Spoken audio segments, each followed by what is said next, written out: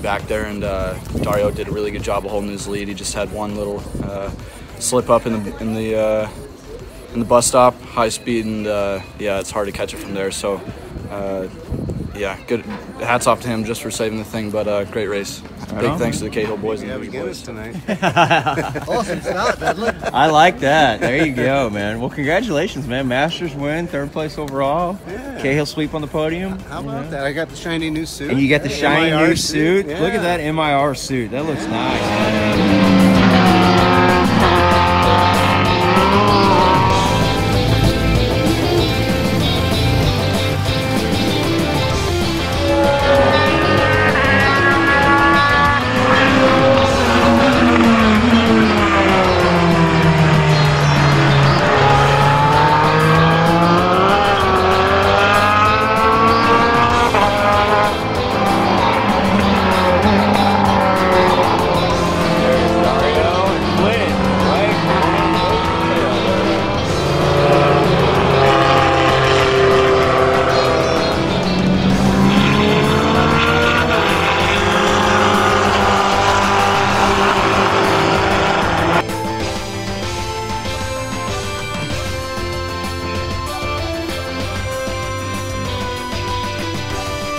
Good job. That was good, pretty fun.